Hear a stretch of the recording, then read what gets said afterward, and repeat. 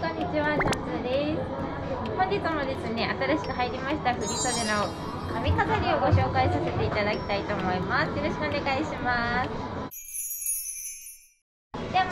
髪飾りっていうと今まで見たことあるのってこういう形の大きいお花があったりとかするものがほとんどだったかなと思います。あとはちょっとこうベルベット系がついてみたりとかって言って大きいのとちっちゃいのが1つずつセットになってるものが従来の髪飾りだったかなと思うんですけど最近入ってきたものがこういう形のものになってます。白でちょっと見づらいかもしれないんですけど実はこれですね全部が一個一個バラバラになってる髪飾りでして自自分の好きなようにアレンジでしてもらえるような髪飾りになってるんですね。髪飾り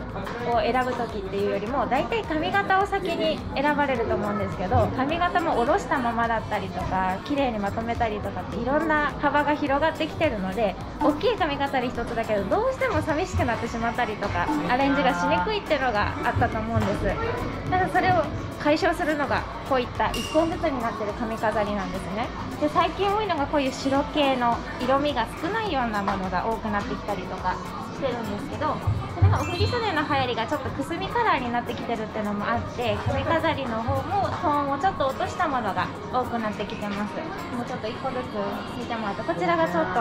ベージュとか黒グレー系のものだったりとかほとんど赤と黒白っていう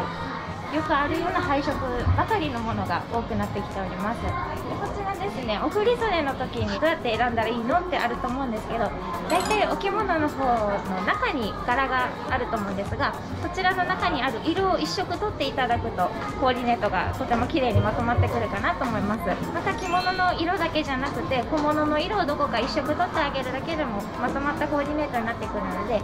飾り選ぶ際はそこだけ参考にしてみてください。で今回の髪飾りなんですけどこれだけじゃなくてこうちょっと多数ご用意させていただいてましてちょっとレースがついてるものだったりとか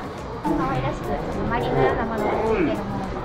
ご用意させていただいてるんですけどお振り袖はもちろんなんですけどもご成人式だけじゃなくて結婚式でちょっと控えめにしなきゃいけないという時は23個だけ選んでいただければいいですしもちろんねドレス姿の時も何個か好きなものだけ選んでいただくことができますので使い勝手のいい髪飾りになっておりますのでぜひこちらを選んでみてください。